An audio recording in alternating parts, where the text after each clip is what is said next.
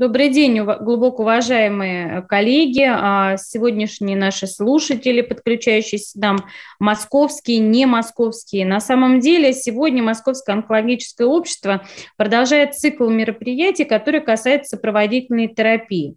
И а, это очень важно в части непосредственно а, понимания качества лечения онкологических пациентов, потому что мы всегда а, на первом этапе за, в первую очередь заботимся о специфическом лечении и особенностях. Ну и качество жизни выходит на первое место, поэтому а, особенность сопроводительной терапии, противоанемической терапии все больше и больше а, мы этому начинаем уделять внимание. Однако вопросов а, на самом деле у нас возникает много. Сегодняшнее наше мероприятие будет разделено на два блока. Первый блок будет посвящен именно современным подходам в лечении анемии, а именно менеджменту крови пациента. Представит его Халикова Елена Юрьевна, а, первый а, медицинский а, Московский государственный медицинский университет имени Сеченова и второй блок мы коснемся организационных вопросов, того, как это организовано непосредственно в Москве и каким образом осуществлять э, данную помощь нашим московским онкологическим пациентам.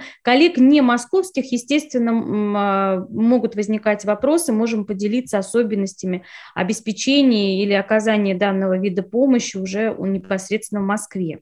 Коллеги, я обращаю ваше внимание на то, что у нас работает чат, и можно в чат записать вопросы, на которые мы обязательно ответим. Более того, в конце мероприятия можем провести дискуссию, и если возникают также вопросы, на эти вопросы также дадим полный ответ. И, а, собственно, мне хотелось бы передать слово Елене Юрьевне. Елена Юрьевна, а, спасибо большое за то, что вы сегодня с нами, потому что нам это очень важно. И а, спасибо, что поможете нам разобраться с таким сложным вопросом. Спасибо вам слово. Спасибо, Ивановна, спасибо, коллеги, что пригласили. И, ну, прежде чем я начну свой доклад, хочу сказать, что, в принципе, я анестезиолог-реаниматолог по специальности. И, в общем-то, вот, ну, проблема лечения анемии, конечно, начиналась у меня, с моей, с моей так сказать, области трансфузиологии. Но за последние годы произошло очень много особенностей. И вот мы с онкологическими, в частности, с Институтом Герцена очень плотно работали, и очень много мы нашли таких точек соприкосновения не только в плане анестезиологии, но и онкологии. И я очень рада, что есть возможность поделиться своим опытом. Опыт позитивный, очень нужный для больных. И есть определенное заблуждение, так что если есть какие-то дискуссии, то, а, пожалуйста, всегда готова ответить и свой опыт, и опыт коллег представить. Ага. Значит, ну и тема такая, что современные подходы, сейчас уберу лишнее, а, современные подходы к лечению анемии – концепция менеджмент крови пациента и, в общем-то, ну, как раз то, о чем я говорила, мы будем обсуждать. А, ну, начну я как анестезиолог с предоперационного периода. А, значит, если, вот я говорю, что меня заинтересовало, будет ли улучшаться качество хирургических а, вмешательств, если мы будем обращать внимание на анемию. И вот одно из исследований, которое я вам сейчас показываю, это, э, в общем-то, большое исследование, которое проведено в Сингапуре. А, проводилось оно, обратите внимание, практически 5 лет, 90 тысяч пациентов почти. Разделены были эти пациенты на две группы. На анемию, которая а, пациента с анемией легкой степени, гемоглобин выше 90 грамм на литр, и тяжелая и средняя степень тяжести анемии, там, где пациенты имели гемоглобин ниже 90 грамм на литр. И сравнили, значит, несколько факторов, несколько исходов в послеоперационном периоде. А, ну, понятно, что если анемия, чем тяжелее анемия, тем, естественно, растет количество а, гемотрансфузий. А, про гемотрансфузию мы сейчас немножко поговорим, хорошо ли это или плохо. А, обратите внимание, что внешне это было все неплохо, что длительность нахождения пациентов в отделении интенсивной терапии не возрастала. Но когда сравнили послеоперационную 30-дневную смертность, то обратите внимание, что в группе 2, э, где анемия была средней и тяжелой степени, а смертность, в общем-то, летальность, да, была в два раза выше, в два. То есть вот, э, в общем-то, достаточно значимый факт. И еще одну работу, которую я всегда показываю, и тоже, в общем, как бы была такой точкой отправления, почему я стала этим заниматься. А, вот э, тоже большая работа, которая ну, исследовала тоже летальность в течение 30 дней в зависимости от наличия факторов риска и от анемии.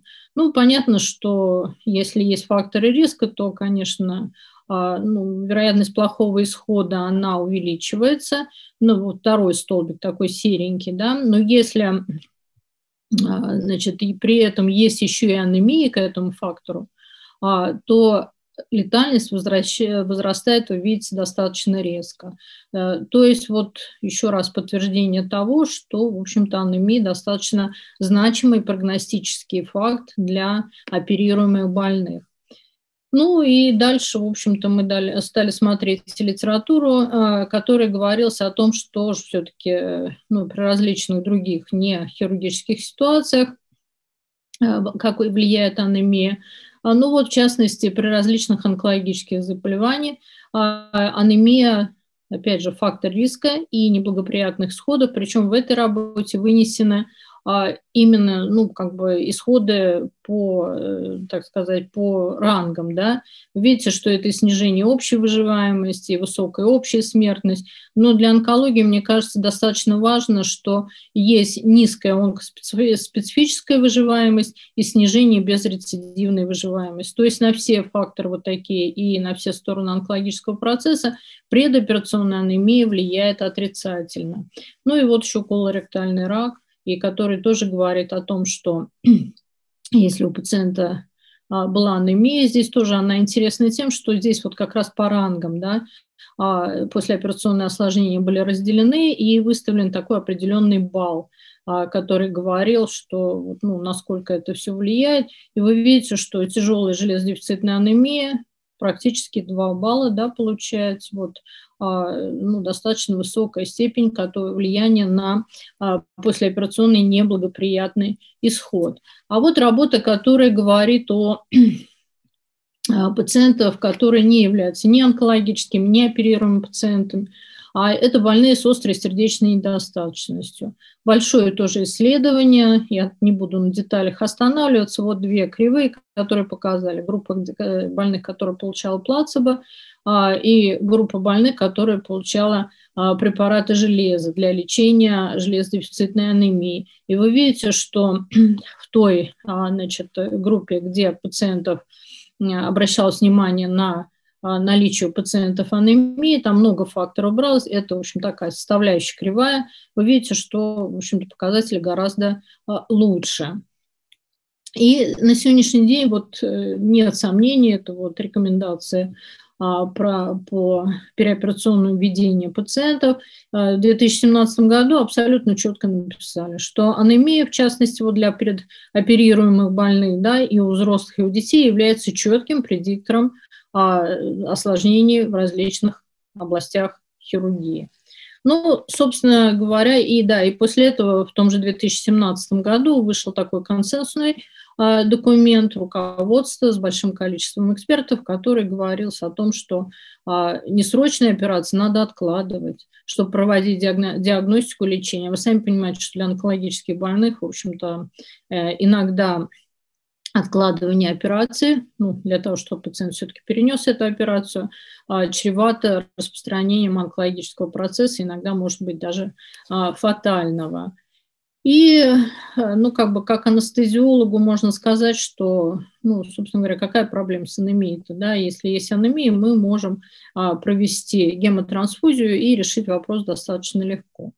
Вот. Ну, вот я показывала до этого документ рекомендаций по переоперационному ведению пациентов. И в том же документе, о котором говорю, что анемия все это очень плохо, а, говорится то же самое, что гемотрансфузия это тоже не есть хорошо, да, это тоже определенные риски, достаточно серьезные риски а, у пациентов, ну и с высокой степенью доказательности. Вы видите, 1А, выше уже доказательности нет, то есть на сегодняшний день это истина, и никто с ней не спорит. И вот такая, конечно, а, дилемма, что ли, что опаснее, анемия или гемотрансфузия, да, а, ну, породила массу литературы, массу мнений, массу там диспутов.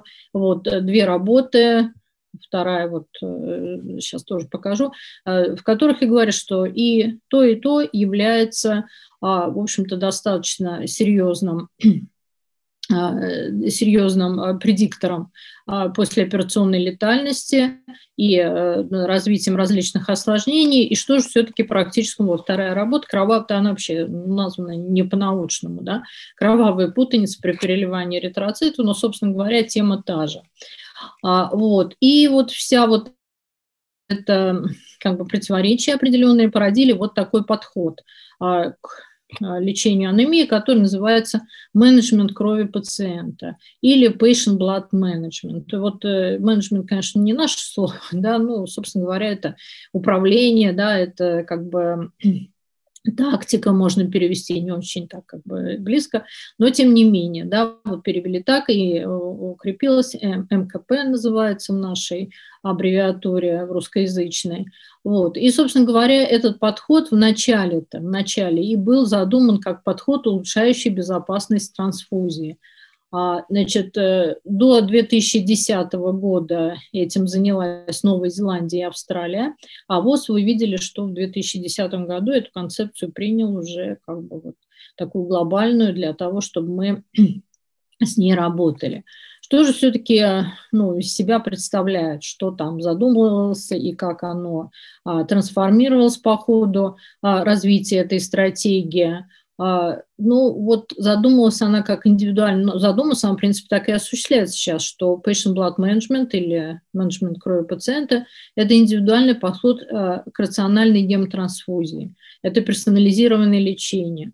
То есть а, мы должны использовать не только гемотрансфузию у каждого конкретного пациента, но и какие-то альтернативные препараты в случаях, когда это возможно и целесообразно. Ну и, естественно, мы должны заниматься снижением кровопотерь во время операции в послеоперационном периоде. Это то, что, в общем-то, вторая сторона стратегии Patient Blood Management. Поэтому я обращаю на, ну, ваше внимание на то, что это не только анестезиологическая проблема сегодня, это проблема хирургическая, вот во второй части, если вы видите.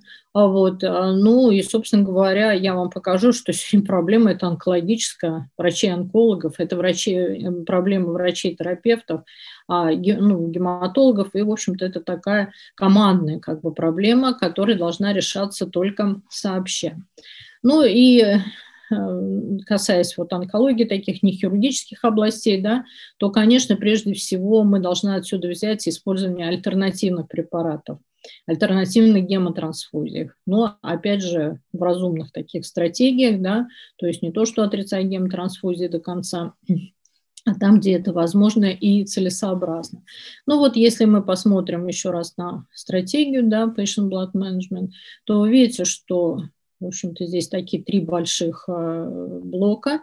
Первый блок, опять же, относится больше такой к терапевтической тактике, но это и работа анестезиологов, в том числе и онкологов, это оптимизация гемопоэза. А, ну, вторая, значит, больше относится к интраоперационному периоду, да, который сводит к минимуму кровопотери, кровотечения, и в послеоперационном периоде мы, ну и вне операционных мы можем улучшать и оптимизировать физиологическую толерантность к анемии. Ну и еще раз подчеркиваю, что все это можно добиться только мультидисциплинарным командным подходом. То есть не может только анестезиолог, только хирург, только там главный врач решить эту проблему. Да, здесь должна работать команда. И еще один момент, который необходимо отметить, что вот, конечно, наверное, в начале, когда все это было в Новой Зеландии, patient management ну, задумывался, конечно, как альтернатива, как альтернатива гемотрансфузиям, потому что ну, гемотрансфузия несет, в общем, достаточно серьезное осложнение, а вот, а, ну, может быть, найти какой-нибудь подход, который позволяет избежать. Но в настоящий момент эта ну, стратегия абсолютно эволюционировала, да, то есть э, гемотрансфузия не исключается, она применяется там, где это необходимо, но а, вот эволюционировал до степени такой, что мы должны предупредить да, вот эту точку невозврата, да, когда без гемотрансфузии не обойтись. То есть мы должны а, научно обосновать и применить комплекс мер, которые, в общем-то, не доведут пациента до а, гемотрансфузии. Но, опять же, конечно, по возможности. Ну и, собственно говоря, как мы это можем сделать. Вот если мы посмотрим на современные возможности коррекции анемии, то вы видите, что здесь есть несколько а, подходов, есть э, группа препаратов, которые мы можем использовать. А, прежде всего, это препараты железа. Вторая группа – это эритропоэстимулирующие препараты. Мы можем применять, комбинировать обе эти группы, то есть препараты железа и эритропоэстимулирующие препараты. Ну и гемотрансфузия, конечно, как тактика коррекции анемии, она тоже имеет свое место быть. Что мы можем сказать о препаратах железа? Насколько они актуальны? Ну, давайте возьмем ну, онкологию в частности, и не онкологию, э, и почему препараты вот, железосодержащие, они, в общем-то, группа рассматриваемая сегодня широко для лечения анемии. Вы видите, что железодефицитная анемия встречается, это не только алиментарный генез, да, вы видите, что не встречается при допустим, онкологии различных э, локализа... опухолей, различных а, локализаций в 43%, практически в половину. Воспалительные заболевания кишечника 45%. Могу сказать, что короткая кишка приблизительно то же самое делает. А, вот, при хронической почечной недостаточности 85% и почти 100% при хронической сердечной недостаточности. То есть вот, ну, как бы если взять такую общую категорию пациентов, с коморбидностью определенной, да, то мы можем видеть, что около 60% у них будут иметь железодефицитные анемии. Что они все там плохо кушают? Да, нет. Оказывается, что генез абсолютно доказанный сегодня. Ну вот сначала покажу красивую картинку, потом такую менее красивую. Значит, э, оказывается, что хронические коморбидные а, ситуации у пациентов ведут к выбросу провоспалительных цитокинов или воспалительной стимуляции, вот как здесь написано. Вот здесь эти а, биологически активные вещества перечислены. Это тумор-некротический фактор, который, кстати, онкологический процесс а, тоже вовлечен. Это интерлейкин-1, интерлейкин-6. Ну, в общем, все такие а, общепринятые вернее, не то, что общепринятые, а известные сегодня, исследованные а, провоспалительные цитокины. Что делают это провоспалительные цитокины? А, собственно говоря, они работают унифицированно в организме, они воздействуют на костный мозг, они воздействуют на макрофаги, они воздействуют на печень. Каким образом? Да? Костный мозг и, если мы посмотрим, что на почки воздействуют, они угнетают а, эритропоэз, макрофаги, которые внутри себя содержат железо, они также, в общем-то, инактивируются, то есть они а, не могут а, в общем-то, быть источником железа. И еще один, если воздействие посмотрим на печень, то там начинает синтезироваться в достаточно большом количестве такой белок или гормон некоторые называют, гипсидин, который, в свою очередь, тоже действует на макрофаги, на тонкий кишечник. Каким образом? Ну, макрофаги, я уже сказала, в ту же самую сторону, да, в общем-то, а, ингибируя возможность а, поступления железа в кровь, и, а тонкий кишечник – возможность а, всасывания железа. Таким образом, вот очень часто, кстати, беременность тоже можно рассматривать как определенный провоспалительный, особенно беременность такая, ну, там, с конфликтами, мать плод, да, а, э, можно рассматривать тоже, и эти бедные женщины всю беременность едят э, таблетки эти железа, да, а поскольку он гипсидин вырабатывается, то, естественно, никакого результата они не имеют. Вот, ну и, в общем, таким образом надо тоже понимать, да, что очень часто пероральное железо может быть неэффективно в таких ситуациях, и надо думать о других путях поступления железа. Ну, давайте чуть поговорим о диагностике дефицита железа. На сегодняшний день диагностика дефицита железа ну, не является такая как бы позиция, как уровень сывороточного железа. Вот, сегодня мы смотрим на сывороточный ферритин, который должен быть ниже 50 микрограмм на литр, или на уровень насыщения трансферина или белок, который переносит да, железо, он должен быть насыщен меньше, чем на 20%. Ну, считается, что сывороточный ферритин более точный тест, ниже 50 микрограмм на литр. Это, в общем-то, почти 100% говорит о том, что есть дефицит железа. Но сывороточный ферритин, если вы помните, это белок острой фазы воспаления. И если у нас есть острая фаза воспаления, а, то мы как бы можем ориентироваться на трансферин ниже 20%. Вот при наличии воспаления здесь написано цареактивный белок больше 5 миллиграмм на литр. Вот. И значит, уровень ферритина здесь допускается выше, до 100 вот если он будет ниже 100 мг на литр, тогда это тоже будет свидетельствовать о железодефицитном а, процессе.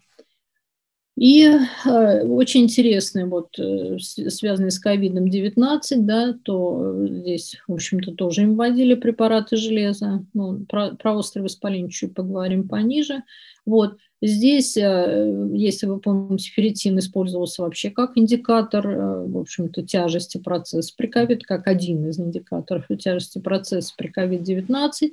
Вот. И здесь вот прям рекомендация, которая говорит о том, что трансферин ниже 20% а, достоверно свидетельствует о железодефицитном состоянии. А, ну, вот еще есть дополнительные маркеры железодефицитных анемий. Я думаю, что лаборатории и клинические лаборанты про это хорошо знают. Это гипохромные эритроциты, а концентрация, снижение концентрации гемоглобина в ретикулоцитах. Они нам часто это пишут, мы не очень на это обращаем внимание, потому что, видимо, не очень знаем, к чему это идет. И вот э, вся вот эта как бы большая когорта пациентов, которые, в общем-то, являлись, э, ну, предъявляли нам железодефицитное состояние, причем это не алиментарное, еще раз повторяю, а, а железодефицитное состояние хронических воспалительных заболеваний, а, значит, ну вот породил такую рекомендацию, что надо использовать внутривенное железо в качестве э, первой линии у пациентов, да, если есть плановая операция – и, в общем-то, тут не говорится ни о какой-то гемотрансфузии, да, а именно, ну, мы сегодня так и делаем, да, мы стараемся этих пациентов а, лечить с помощью внутривенных препаратов железа. А, ну, я не знаю, как бы не вижу, какая у меня а, категория слушателей. Ну, я думаю, что более старшее поколение, оно сталкивалось да, с введением препаратов железа, и ну, не все, наверное, имеют положительный опыт в этом а, процессе. Потому что даже вот есть такая как бы рекомендация, которые посвящены а, химиотерапевтической, химиотерапевтической индуцированной анемии лечения, рекомендации европейские, которые говорят о том, что а, эффективно, парантеральное железо при, эффективно при применении препаратов у онкологических больных, но нужна тест-доза, да, вот. Почему? Потому что ну, любое, любое железо, оно токсично, поэтому оно должно выделяться медленно. Для этого оно упаковано в специальные, так сказать, э, упаковки. Да, это или низкомолекулярные декстраны, или сахараты, глюконаты железа. Вот. И вот эти упаковки сами по себе являются достаточно а, ну, непростыми для а, пациента, которым проводится инфузия этих препаратов. И э, если посмотреть вот на э, те рекомендации, которые даются по парентеральному назначению препаратов железа, вы видите, что большинство из них требует тест-дозы. Вот, то есть мы вводим, потом ждем, потом, значит, мы должны ввести немного, да, э, ну, в течение там 5 минут, ну давайте первую колонку возьмем, чтобы не бросаться. А, значит, сначала тест-доза, потом 100 миллиграмм ждем, потом повторная доза раз в неделю до 10 доз. Значит, введение одной дозы занимает несколько часов. Я ну, думаю, что вот более старшее поколение знает, что были гемодинамические реакции и э, изменения со стороны респираторной функции. Поэтому, конечно, вот, ну, как бы препараты железа э, ну, не рассматриваюсь, наверное, в таком широком применении, потому что вот достаточно много было таких побочных моментов, э, и, ну, наверное, вот это ограничило э, ситуацию. Да, и вот еще есть рекомендация онкологические а, э, Ронса, да, которые говорят о том, что если есть в составе препарата декстран, я еще раз повторяю, что декстраны ну, вот, являются таким упаковочным материалом для некоторых препаратов железа, то надо все это делать в палатах интенсивной здесь вот противошоковой терапии написано, ну, собственно говоря, в наших реалиях это отделение реанимации, да, ну и сами понимаете, какие организационные моменты тяжелые все это несет в себе. Но, а, значит, э, жизнь не стоит на месте, да, появляются новые препараты. И вот у нас не очень давно, где-то около пяти лет мы используем этот препарат, ну, может, чуть больше, а, появились препараты, высокодозный препарат. Да, я еще не обратила внимания, там, помните, 100 миллиграмм, да, была доза в течение одного раза, а потом в течение пяти недель там можно было достичь 500 там, миллиграмм. Вот. Появились высокодозные препараты железа, их на сегодняшний день вот два в группе, это карбоксимальтазат желез, который мы будем обсуждать, который у вас сейчас есть в списке для а, льготного применения и а, значит, э, э, железоизомальтазат. Вот эти упаковки, они не являются вот такими реактогенными, как предыдущие Э, поколения железа, препаратов, железосодержащих препаратов. Вот, и за счет вот их нетоксичности, за счет хорошего ну, того, что больные хорошо это переносят, вы видите, что мы можем использовать достаточно высокие дозы и не требует тест-дозы, что очень важно, не требует никаких отделений реанимации. И, опять же, ну, мой опыт коллег и опыт уже всемирный, в общем-то, достаточно хорошо переносится пациента. Вот а, показывает, да, сколько мы можем вводить а, препараты вот, э, железа, карбоксимальтазат железа, однократная доза до 1000 мг. Значит, мы можем вводить 15 мг на килограмм, ну вот на 70 умножить, это где-то около 600 мг мы можем вводить инъекции. А, нет, немножко наврала, 300 мг можем вводить инъекции, а 20 мг на килограмм мы можем вводить инфузию в течение 15 минут. Значит, еще раз повторяю, препарат совершенно хорошо переносится пациентам. Вот, ну, в дискуссии могу личный опыт рассказать, а, э, ну, какие у меня были пациенты. Еще раз повторяю, что нет необходимости в тестовой дозе. Моя, опять же, моя личная рекомендация, что, наверное, 1000 миллиграмм, может быть, за один раз не стоит, тем более в плановой такой ситуации, ну где-то 500-600. Я сейчас покажу, что есть формула для расчета препарата.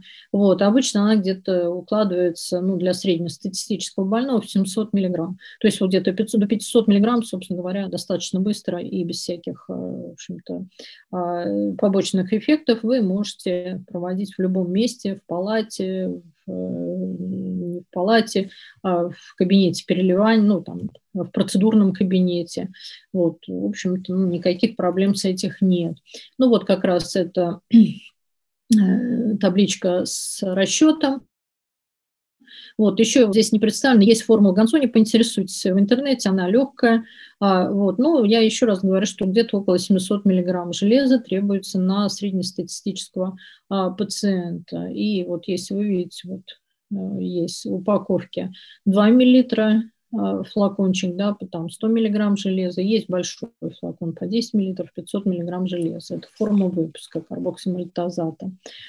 А, значит, ну, если мы посмотрим, конечно, если смотреть на хорошие современные препараты, они все, а, значит, хорошо исследованы, и вот ну, меньшая токсичность говорит еще о том, что у них есть особенности распределения. Вы видите, что карбоксимальтазат железа быстрее и достаточно быстро поглощается костным мозгом, собственно говоря, туда, куда он должен попасть. И минимально накапливается в клетках печени и селезенки, то есть его токсический эффект. И я еще раз повторяю, что ну, уже богатый у меня опыт, и с коллегами мы общаемся, и с онкологами в том числе. А, значит, ну, препарат, я даже не, не, не помню, чтобы кто-то сказал, что были какие-то побочные действия. Хорошо переносится. Вот. Ну и вот еще одна как бы э, кривая, которая показывает, что э, как распределяется железо в организме после внутривенного железа, карбокс, карбоксимальтазат железа. А, Все подтверждено на вот таких вот э, компьютерных цветных снимках. Вот. Ну и вот такая как бы нетоксичность, такая вот препарат еще эффективный, про эффективность поговорим, а, привела к тому, что вот я уже показывала эти рекомендации, те были, по-моему, 16 года, а вот это 18 года, они последние, а, в котором написано, что, в общем-то, карбоксимальтазат железа должен быть рассмотрен при неэффективности других форм паранейтрального железа. Ну, собственно говоря, зачем нам экспериментировать с другими формами паранейтрального железа, когда а, есть, ну, в общем-то, вот этот препарат. И более того, в показаниях для этого препарата э, есть пациенты с хроническими почечными заболеваниями, что тоже очень важно, ну, поскольку это все-таки достаточно тоже частая коморбидность. Ну и про эффективность. Да? А если мы говорим про эффективность, как мы можем анемию, то, в общем, эффективность э, отслеживать? Ну, наверное, по уровню гемоглобина.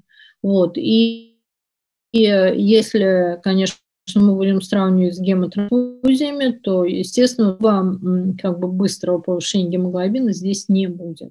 Вот. Но пациент уже а, вот по данным литературы, через три дня чувствовали улучшение. Мои пациенты уже, в общем-то, через день-два, некоторые даже к вечеру чувствовали себя лучше. А, вот, более бодрыми, более активными. Ну и повышение гемоглобина происходит к пятому, ну, чаще всего на 10-14 а, день. А, значит, ну вот кривая, которая тоже показывает, как этот препарат исследовался и как повышается гемоглобин. Хочу обратить ваше внимание, что чем ниже была исходная точка, когда мы начали лечить пациента, тем эффективнее работает а, препарат. А, ну и вот э, еще одно исследование тоже, которое относилось уже непосредственно к пациентам э, с такой патологией, как рак толстой кишки. Вот, и вы видите, что эффективность за 2-4 недели до операции им проводилась э, введение карбоксимальтозата железа. Вот, и вы видите, что, в общем-то, ну, как, как бы одним из конечных таких э, точек при исследовании, да, это снижение а, гемотрансфузий в течение 30 дней после операции. Ну и понятно, что, скорее всего, если у пациента а, ну, прооперирован достаточно радикально, то дальше и оно и не понадобится. Ну вот та же работа, а, которая показывает динамику уровня гемоглобина, и вы видите, что, в общем-то, тоже шло по динамику уровня гемоглобина по четырем а, точкам и э,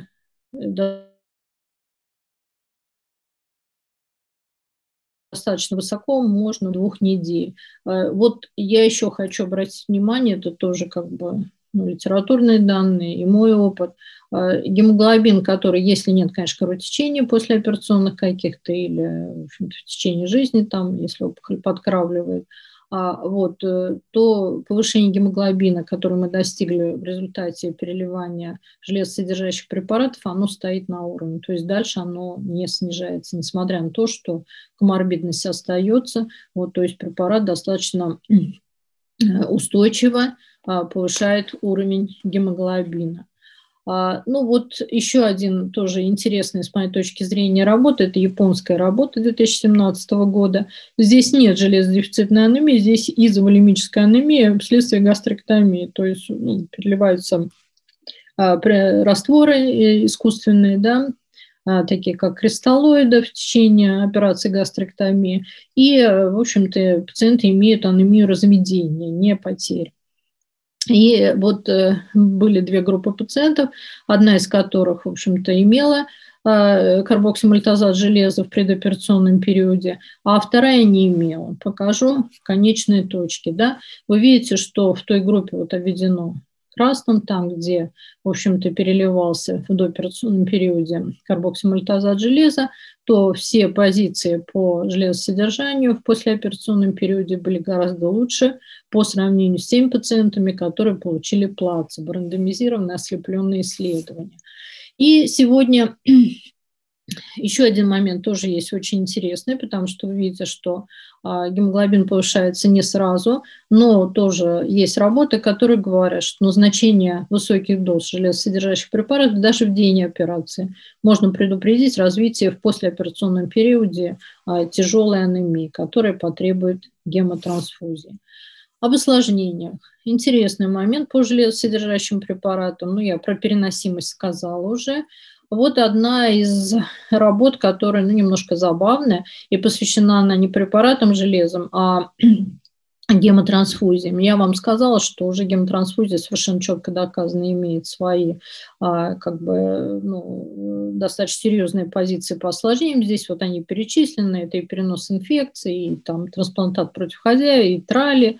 Значит, а, ну, сравнивают все это с бытовыми такими моментами. И я вот э, подумала, а где же у нас железо, да? Вы видите, что железо у нас где-то на уровне вероятности ну, естественно, имеется в виду современные препараты железа, а, то есть количество осложнений, вероятность осложнений, она где-то сопоставима с ударом молнии, да, то есть вот достаточно нечастые события для а, ну, для препаратов. И, а, значит, э, что еще в плане осложнений? А, значит, э, препараты железа ассоциируются с эм, увеличением количества инфекционных осложнений. То есть вот этот был момент, который тоже сдерживал широкое применение, считал, что препараты эти вызывают а, ну, вероятность инфекции. Ну, сейчас очень тоже много работ, посвященной этой проблеме. А, ну, есть и за, и, ну, в общем, окончательного решения, действительно скажу, нет на сегодняшний день, да, но вот есть очень хорошая статья, правда, она а, посвящена пациентам с хронической недостаточностью, вот, но тем не менее мы можем ее взять как бы за основу и посмотреть, что они предлагают а, в качестве наличие у пациента острой инфекции и ну, э, наличие железодефицитной анемии. Значит, вот есть зеленая такая полоса, да, где видно, что вот есть у нас есть изолированное повышение ЦРБ, ВИЧ с вирусной супрессией, а, значит, латентный туберкулез, незначительные локальные инфекции, хронически стабильный гепатит С. А, значит, все это не препятствует разви... Э, вернее, назначению препаратов железа. Где мы должны быть осторожны, пациентов отменять, да, это умеренная локализованная инфекция, например, бронхит, значит, лечение язвенной болезни, а, положительный тест на туберкулин, но без обследования лечения, здесь мы можем решать, ну, в пользу больного, да, или так, или так. А, значит, когда все-таки не рекомендуется вводить препараты железа, опять же, я э, говорю, что это ну, исследование посвящено пациентам с хроническими болезнями почек, но э, давайте мы их экстраполируем все-таки на всех пациентов. Вот, а, значит, это сепсис, это бактериемия, это лечение острой инфекции в настоящий период и серьезная локальная инфекция. Вот, поэтому, ну, как бы, чтобы не попадать нам в какие-то там юридические неприятности или, может быть, там, а, ну, так сказать, свои какие-то, думать, связано это с железом или нет, лучше вот в таких ситуациях избегать, да, препаратов железа. И в этом же исследовании ну, тоже говорится о том, что безопасность внутривенного введения железа, а, находящимся на гемодиализе, зависит от концентрации ферритина. Вот. Если мы значит, будем вводить, ну, рассчитаем, что пациенту нужно а, больше, ну, вернее, э, концентрация ферритина меньше 700 мг на литр, то, в общем-то, мы можем, это безопасная такая доза, а при увеличении дозировки, то, конечно, здесь а, риски тоже возрастают. Поэтому еще раз говорю, что пациентов с острой инфекцией а, нету однозначно. Вы видели, что я вам показала работу, связанную с ковидом, то есть это тоже острая инфекция, но там препараты железа использовались. Вот, но все-таки эти пациенты должны быть ну, вот, как бы на особом учете и индивидуально подходить к назначению а, препаратов. А, ну, пару слов о другой группе, которая может использоваться при лечении анемии, это эритропоэтин. В онкологии эритропоэтина прошли непростой путь. А, некоторое время считали, что, в общем-то, они не показаны онкологическим пациентам, потому что увеличивают возможность а, метастазирования, увеличивают возможность распространения онкологического процесса и увеличивают возможность тромбозов. Ну вот э, в 2014 году, в общем-то, решили, что это не очень правильно, да, что таких э, значимых рисков а, не несут эта группа препарата, но все-таки рекомендации остались такие. Вот 2016 год, да, что дозы эритропоэтстимулирующих препаратов в онкологии, именно в онкологии, должны тетравакс индивидуально для каждого пациента и снижаться, как только мы достигли целевой уровень гемоглобина. Есть пациенты, которым не рекомендуется а, введение а, или противопоказано введение эритропоэтстимулирующих э, препаратов. Что делать с этой группой пациентов? Ну вот если мы посмотрим на кривую, здесь тоже исследование, э, посвященное карбоксимальтозату железа. Здесь есть группа пациентов, которые получали только карбоксимальтозат железа, и есть пациенты, которые получали совместную да, терапию, карбоксимальтозат железа и эритропоэтстимулирующий препарат. Ну, вы можете видеть, что, собственно говоря, кривые почти повторили друг другу по эффективности, так что здесь выход, наверное, такой, что если, в общем-то, не показано применение эритропоэтстимулирующей группы, то мы можем свободно пользоваться карбоксимальтозат железом, препаратами железа. Вот э, как бы это сама работа, ее дизайн. Ну и вы видите, что достаточно много да, пациентов вошло и ну, с различными локализациями. Ну и буквально пару слов о гемотрансфузиях. А, что сегодня с гемотрансфузиями? Куда их девать? Напомню, что гемотрансфузия необходима тогда, когда возникает ну, любая анемия – это кислородно-транспортный дефицит, нам нужен гемоглобин, да, нам нужен э, как бы субстрат, который нам перенесет кислород до периферии. И если вот этот дефицит нарастает достаточно быстро, то, конечно, возникает потребность гемотрансфузии, потому что другого источника для быстрого возмещения этого субстрата гемоглобина мы не имеем. И вот у нас был 183 приказ от 2013 года, который совершенно четко нам говорил, да, что вот этот момент, вот этот порог наступает тогда, когда быстрое снижение гемоглобина до 70-80 происходит без всяких симптомов, или есть симптоматическая анемия, да, то есть там гемоглобин 100, но есть трихикардия, трихепноя, ортостатическая гипотезия, и тогда мы обязаны переливать кровь. А, ну, вот э, в этом плане, конечно, а, значит, есть такие расхождения, да, и в плане уровня гемоглобина про симптоматическую никто э, не спорит, да, а вот про уровень гемоглобина бессимптомно, ну и вы сами понимаете, что пациенты, допустим, с той же гастректомией, ну, с тем же заболеванием желудка, очень часто с гемоглобином там 85, 78 ходят на работу и, в общем-то, а, сильно не жалуются да, на вот как бы свой кислородный транспорт. Поэтому, значит, дискуссия идет по нижнему порогу и насколько быстро эта анемия наступает.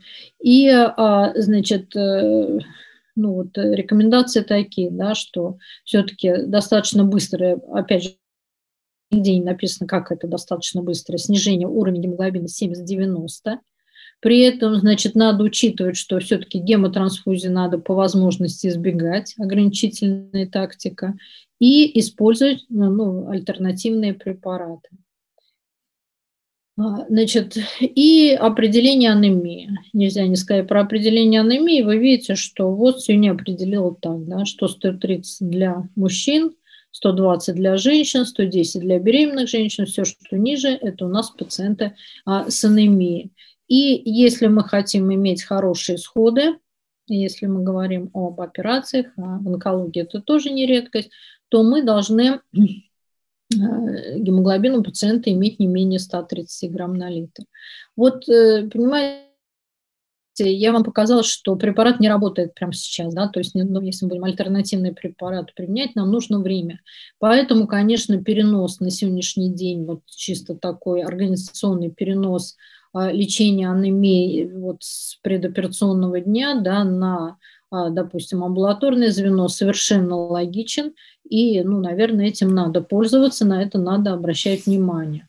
И вот еще раз говорю, какие да, у нас вот, в связи с этим возникают вопросы, потому что предоперационные э, ну, дни у пациента один-два дня находятся они в госпитале, вот кто где, когда на госпитальном этапе должен быть, и вот про приказы Минздрава, да, что у нас на сегодняшний день из приказов Минздрава, то, что нам говорит о том, чтобы мы могли лечить и, в общем-то, не попасть под какие-то юридические неправильности.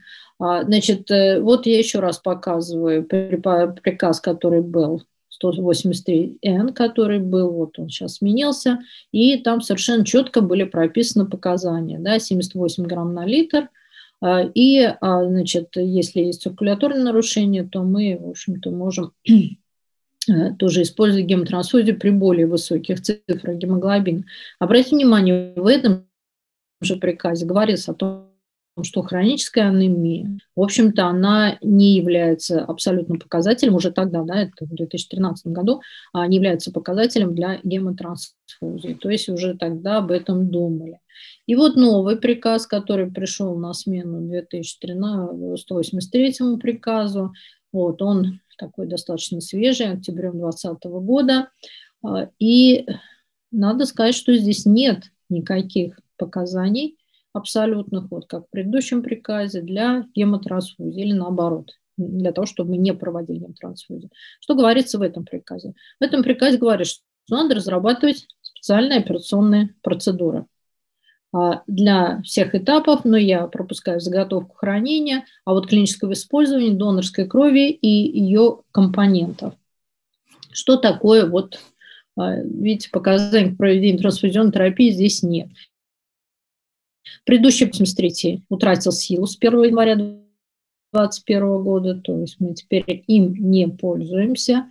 И тогда мы должны понимать, что такое специальная, э, не специальная, извините, неправильно сказала, стандартная операционная процедура.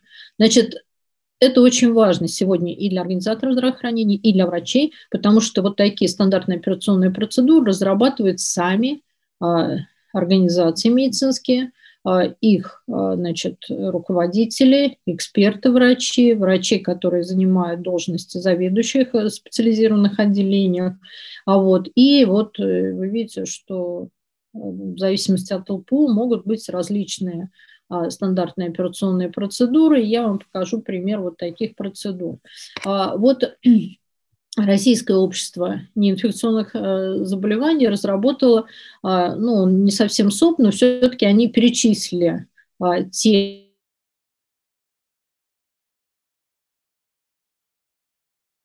пациенты, тех железа, уровень эритроцитов, то есть проходить более углубленное исследование в плане анемии.